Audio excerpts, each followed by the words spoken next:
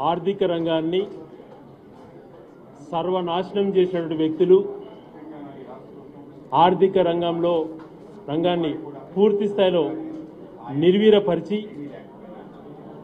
అప్పుల పాలు చేసినటువంటి అంశాన్ని నిన్న గౌరవ ముఖ్యమంత్రి గారు అసెంబ్లీలో కూడా చెప్పడం చూసాం అదే ఈరోజు ప్రవేశపెట్టిన బడ్జెట్లో బొగ్గన గారి బడ్జెట్లో కూడా మనం చెప్పడం జరిగింది. వాళ్ళు చేసిన అప్పులకు మేము ఏ రకంగా వడ్డీలు కట్టుకుంటూ వస్తున్నాము అని చెప్పి. ఒకటి ఆలోచన చేయమని చెప్తున్నా. ఈ ప్రభుత్వం ఈరోజు నాలుగో బడ్జెట్ ప్రవేశపెట్టింది.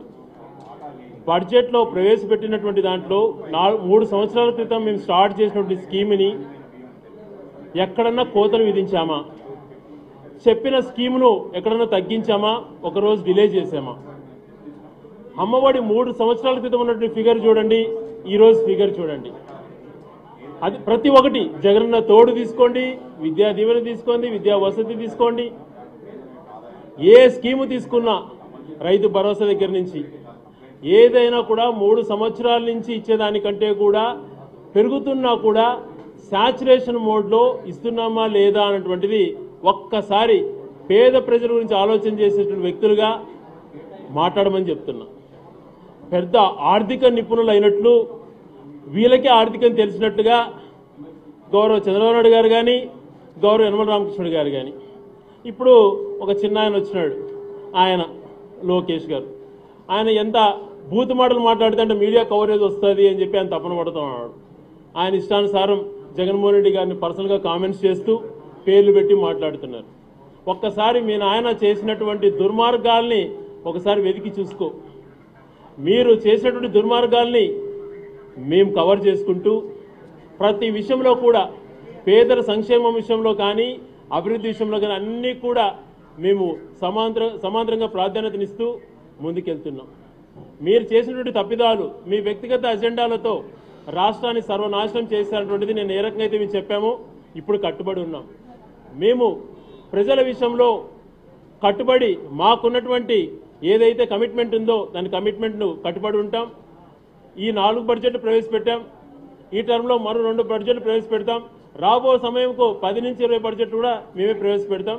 మీరెవరు ఆశలు పెట్టుకోకండి ఆర్థిక వ్యవస్థ నాశనం చేసినట్టు మీరు మీడియాల ముందర పెద్ద ఫిగర్స్ చెప్తూ ఉంటారు. అన్ని ఫిగర్స్ అంతా కూడా.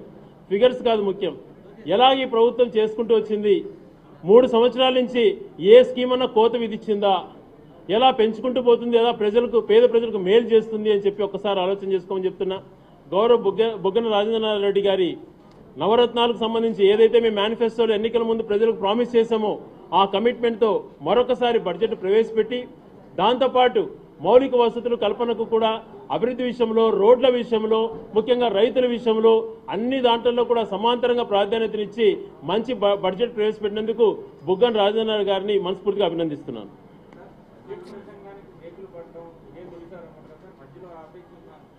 ఆ- అట్లాంటి దుర్మార్గ ప్రతిపక్షం ఉండిపోయింది మాకు. కారణాలు ఎవరు హౌస్ని మంచిగా నడిపించాలా? ఒక సిస్టమేటిక్గా ఒక ప్రొఫెషనల్గా ఉండాలి అనేటువంటి ఆలోచన లేదు. హౌస్ డిగ్నిటీని ఏ రకంగా కించపరచాలా? ఏ రకంగా ప్రతిపక్షం పైన రాళ్ళు వేయాలా? ఎలాగ డిస్టర్బ్ చేయాలని ఆలోచన చేసే ప్రతిపక్షం ఉన్నప్పుడు ఇలాగే ఉంటుంది.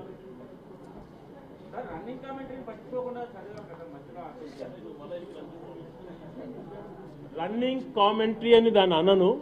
ఇప్పుడు చంద్రబాబు నాయుడు గారు ఏం అనని మాటకు ఎందుకు ఆయన నేను అసెంబ్లీకి రాను అని పోయాడు అన్నటువంటిది మీకు అందరు కూడా తెలుసు ఎవరేం మాట్లాడాల. కేవలం కుప్పం ఎలక్షన్ డైవర్ట్ చేయడం కోసం పోయాడు. నేను మళ్ళీ నా నోటితో చెప్పిస్తున్నావు కాబట్టి పోయిన వ్యక్తి పోయినట్టు కాకుండా ఇక్కడే ఉన్నా నేను. మీరంతా నాకు పెద్దగా దగ్గర పరిచయస్తులు కాదు. కొంతమంది మా వాళ్ళు ఉన్నారు. నేను కన్నీళ్ళు పెట్టుకొని గుక్కలు పెట్టి ఏడిస్తే టపాన్ని మా వాళ్ళని వచ్చి పట్టుకుంటారు మీరన్నా వచ్చి సార్ ఎడవగాకనే అంటారు. ఎంత ఆర్గనైజ్డ్ ఏడుపు చూసారా అది? పది నిమిషాలు పైన ఎక్కులు పెట్టి ఏడిస్తే ఒక్కరన్నా మీడియాలో రాకపోతే అందరిని అడ్డుకున్నారు. పోగాక మేము కెమెరాలు పెట్టుకున్నాం ప్రాపర్ ప్లాన్డ్గా. నువ్వు పోతే డిస్టర్బ్ అయిపోతుంది నా ఏడిపోయాను ఇట్లాంటివన్నీ చేసి చేసి రాష్ట్రాన్ని ఎంతకాలం ఏడిపిస్తారా? అది కాదు ముఖ్యం. మేము ఈరోజు రన్నింగ్ కామెంటరీ చేసింది కాకుండా ఎలా డిస్టర్బ్ చేయాలన్నటువంటిది వాళ్ళు చేసినటువంటి కొన్ని సంఘటనలు మీ లైవ్లో చూసింటే తెలిసింటుంది.